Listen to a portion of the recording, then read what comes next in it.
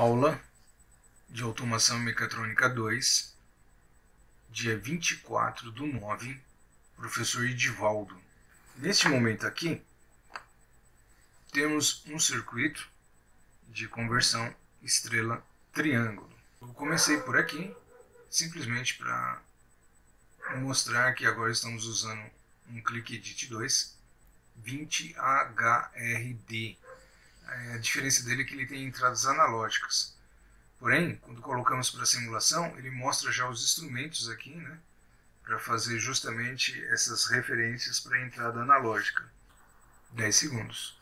Então o que acontece? Ele vai partir com duas saídas em relação às bobinas, porque está alimentando o motor trifásico no sentido uh, de manter em estrela Aí 10 segundos após, ele vai fazer a mudança para triângulo, que é o que vai manter ele a quantidade de horas que ele tiver de ficar ligado em operação. Então temos aqui que o I1 vai ser o nosso start e o I2 o stop do circuito. Então ao ligar o I1, parte-se o motor em estrela 10 segundos depois, ele faz a comutação para triângulo, que é o que ocorreu agora. E o equipamento ficará ligado por quanto tempo for necessário. Tá? Então, aqui observamos a saída ligada aqui. E o mesmo só irá parar a partir do momento que eu chegar e pressionar o stop, né? que nesse caso é o I02. Então, pressionando ele, ele vai desligar o sistema.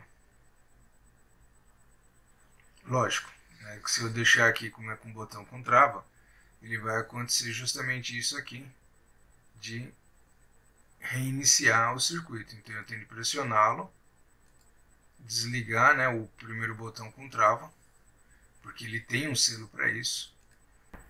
Então pressionando o I1 e desligando ele vai manter ele ligado. Ele vai contar 10 segundos. Após os 10 segundos, ele vai trocar de estrela para triângulo, que é o que ele fez agora. E para desligar, só pressionando o I2. E aí depois precisamos pressioná-lo de novo, porque não botamos com trava. E o sistema fica desligado.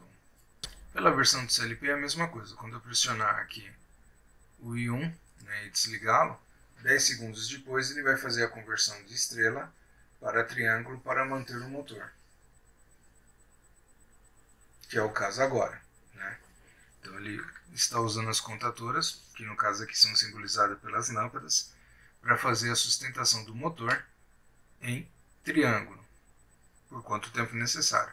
E se eu pressionar o stop, ele vai desligar todo o circuito e aí eu preciso novamente pressionar para rearmar o circuito para a condição de funcionamento, porém mantendo-o aqui desligado.